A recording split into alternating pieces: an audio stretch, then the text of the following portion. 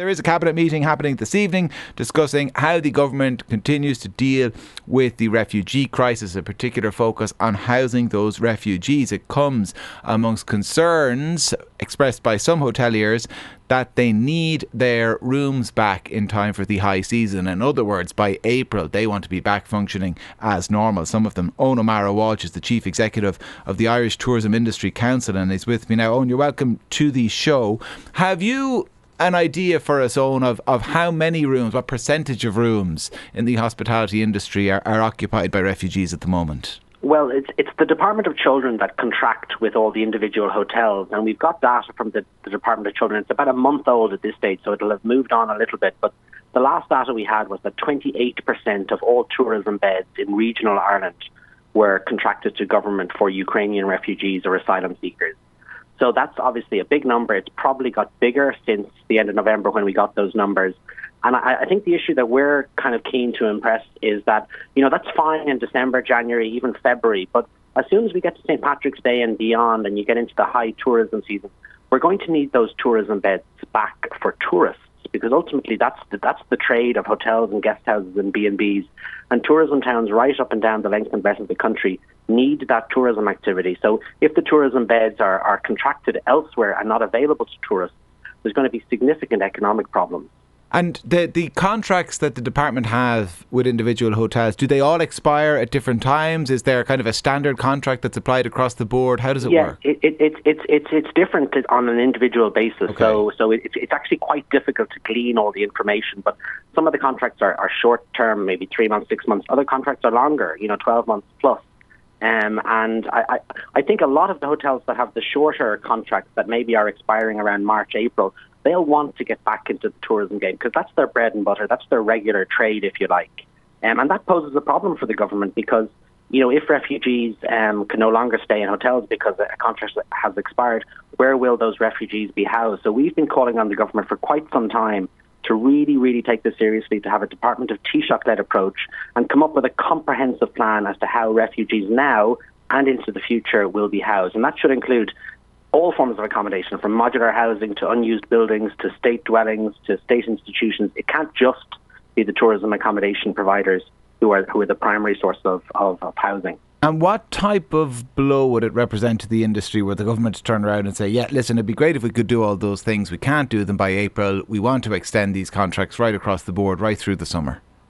Well, it'd be a significant blow, and effectively we'd be sacrificing the tourism industry um, um, in response, if you like, to our to meet our humanitarian obligations, and that has significant economic consequences. Like Fáilte Ireland, which is the state agency for tourism, estimate that for every euro a tourist spends on accommodation, two euro fifty is spent on ancillary tourism services. So the hotels, to a certain extent, would be okay because they would get a rate from the government, albeit it's not as lucrative as, as the tourism rate. But it's the downstream tourism businesses that would really suffer. So the restaurants, the pubs, the tourist attractions, the adventure centres, the the cultural experiences, they would miss out on the tourist dollar, and lots of livelihoods and mm. lots of mm. jobs would be at risk. Well, it, it, you know, for some people listening, I think that's a price worth paying. You know, you mentioned kind of weighing that up against our humanitarian.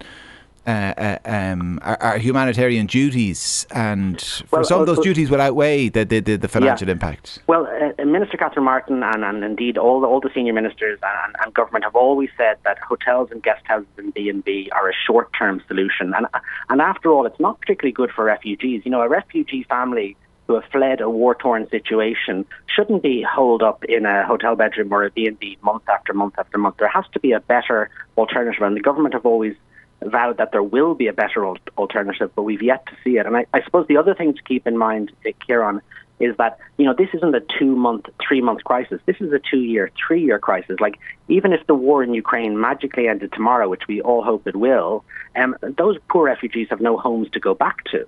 So, you know, this is going to be a sort of a, a, a not just a short term, but an, a medium term uh, plan will need to be put in place. And as I say, the tourism and hospitality sector will do its bit as we're doing at the moment, mm. but a lot of that bed stock needs to come back into the tourism economy. And, and there are swathes of the Wild Atlantic Way and swathes of Ireland. I, I think you're Kilkenny yourself. You know, tourism is really, really important.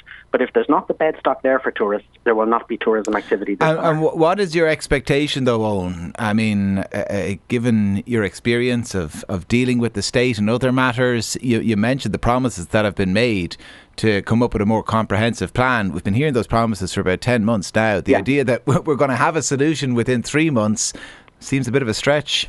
Yeah, I mean, c- certainly, like you know, words words are cheap to a certain extent. I mean, we, what we need to see is, is, is action. And, and remember, like I mentioned, 28%. As I said, that that number we got about a month ago, six weeks ago, that could well have increased by now.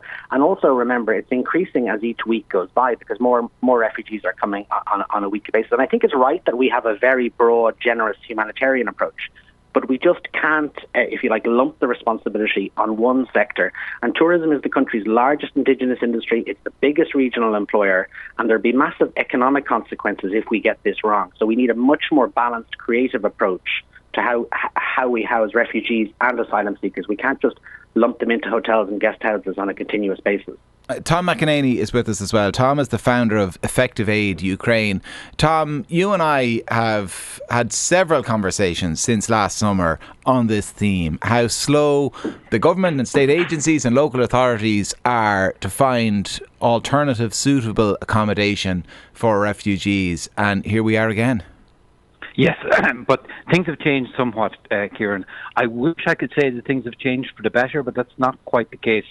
Um, there are specific changes taking place at the moment that your listeners are probably, in fact, are definitely um, unaware of. Uh, I've spoken to, over the last number of days, I've spoken to a number of developers, NGOs, people who, for different reasons, uh, um, would be heavily involved in uh, accommodating uh, refugees, people who would engage with IPAS, the government agency responsible for it, on a regular basis. And what I've been told consistently for each of them is that IPAS is currently in chaos. I mean, it's always been grappling somewhat in order to deal with the numbers that have come on board. It's it's not. It's on the verge. Uh, according to one person I spoke to, it is on the verge of collapse. And all agreed that the government is likely to embark on some major reorganisation of IPAS. Now, what does this mean?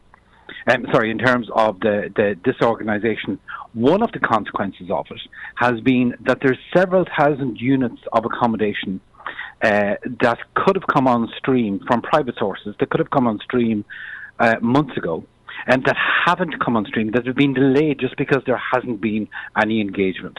And you're right, of course, hotels were only ever supposed to be a short term measure. Mind you, none of us, all of us hoped that the war would be a short term war. Hmm. Uh, but the, what happened was a lot of the accommodation that could have been made available, more suitable accommodation that might have been made available was, but in most cases, developers had to go off and invest significantly in making accommodation suitable, in restoring accommodation, in converting accommodation, and a lot of that com- uh, accommodation, I am told as an absolute fact, has been sitting ready to go for the last two to three months. And developers, some developers are tearing their hair out yeah. trying to get somebody in IPAS to engage. I'm sorry, Tom, to go question. Are, are, uh, like, what form does this accommodation take? Is this renovated older buildings? Is this new yes, buildings that have yes, been completed? usually because it, the, the, the, accommodation that didn't require to be renovated would have used and that was available would have been made available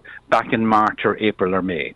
So this is largely accommodation that that required some kind of restoration or some kind of conversion. I don't want to specify the particular accommodation because I don't want to get those. I don't want to risk identifying individual developers because it probably wouldn't help an already difficult relationship that they have with IPAS. Um, but it, this is not small scale. This is not 10 or 20 units in a piece of accommodation. This is, um, um, all told, thousands of units of accommodation. And there is another problem, Kieran. And there's a very specific problem, and any developer that you speak to that's engaging on contracts with IPAS right now will be able to confer, confirm this to you.